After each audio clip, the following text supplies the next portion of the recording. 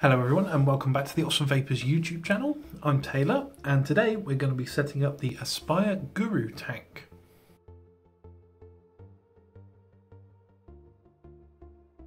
So if you've just bought this as your new tank, hopefully this video will help you get started with this slightly unconventional direct lung tank. So let's open the box. And straight away you'll be able to see the tank there. We'll save that for a minute. Let's look what's underneath first.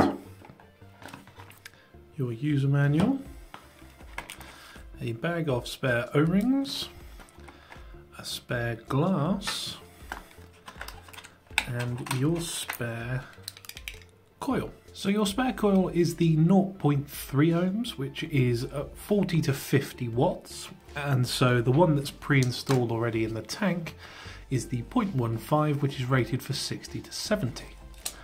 So we'll get the tank out now.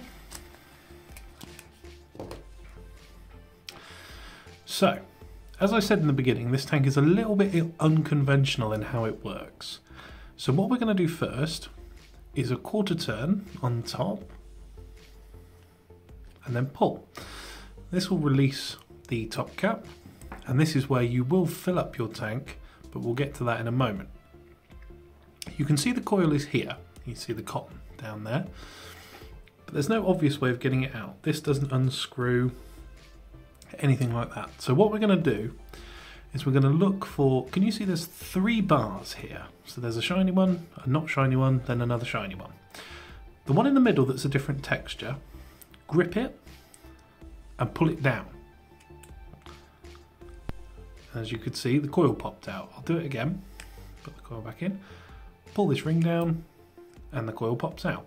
So the coil is spring loaded, which is good for when you're changing the coil, you can face it down into the bin and basically fire it into the bin so you don't have to get juice all over your hands. It's actually a very good system that Aspire have used. And when you take the coil out, the little doors that are at the bottom to allow the juice through actually close up so it won't flood the tank when you take the coil out. So you can change the coil while there's still juice in it, which is really good.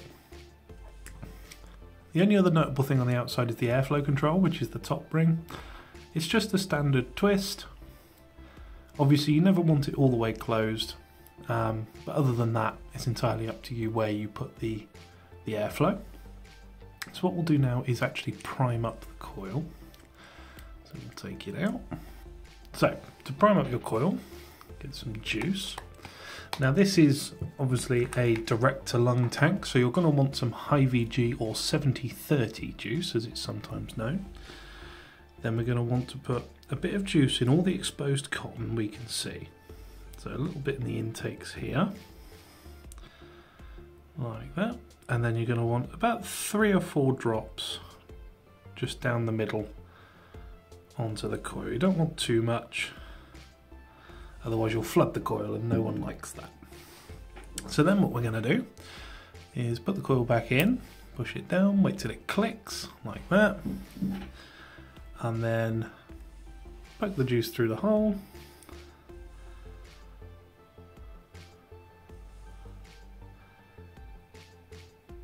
And fill up the tank.